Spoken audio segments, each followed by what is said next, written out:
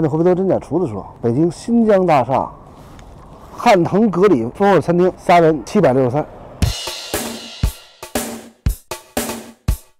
一串腰子三十六，铁心烤肉六块钱一个，这个在新疆值四块。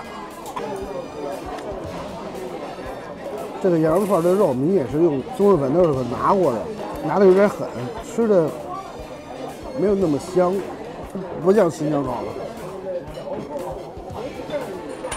肉串也一般，羊腰三十六一串哦，啊一个半腰子三十六。你看人家这烤腰子设备，哦，哎呀妈，烫死我了，好烫！腰子口感比较绵，不是很有弹性，所以说它这个腰子这个新鲜度啊，可能稍微差一点，但绝对原油一般。想买二六八啊，手一粘上了呢。哇，这个羊排好干啊！羊肉非常紧实有弹性，但是不怎么香，不肥。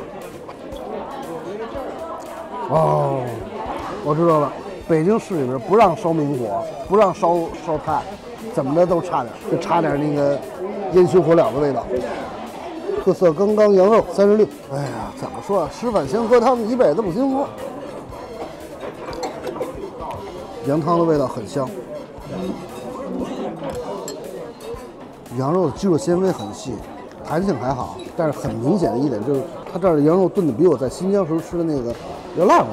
新疆那个没有这么烂乎，很明显，一进嘴就是肉香，真的能吃出这个新疆羊和其他地方的羊有区别。它这个奶香味儿，就是从我开始说的，说新疆羊有一股奶香味儿，它真的在，不错。哎，三十六好贵啊！干煸馕炒肉五十八，这吃的一般啊。这个肉干干的，就是孜然辣椒面的那种味儿，但是它孜然挺香的，它里边孜然的味道最上头。但炒的这口感很一般，真的很一般。抓饭四十二，这个这个抓饭肉太少了。他家那个抓饭，如果你不吃肉，没有肉香味儿。它这个抓饭可能肉和饭不是一起煮的，抓饭挺好吃，但就是没有肉香味。抓饭也一般。哈密贡烤烧牛尾一百五十八，牛尾烧了个偏甜的口，它真的带有一个红枣的枣香味儿。大家都知道牛尾本身那种膻骚味儿就比较重，但是这东西烧好了会特别特别香。他家这个就是很香，最奇特的就是它真的有一种枣香味儿在里边，配合这个牛肉的这个牛尾巴这个味道，哎不错，这个菜不错。牛尾巴烧了个九分烂，得嚼，但是不费劲。牛尾巴不错。哎，来吃一吃。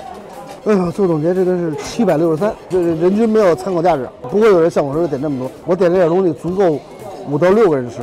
我觉得这边就人均一百小几，菜是新疆的菜，吃着没有新疆的香，还是新疆的好。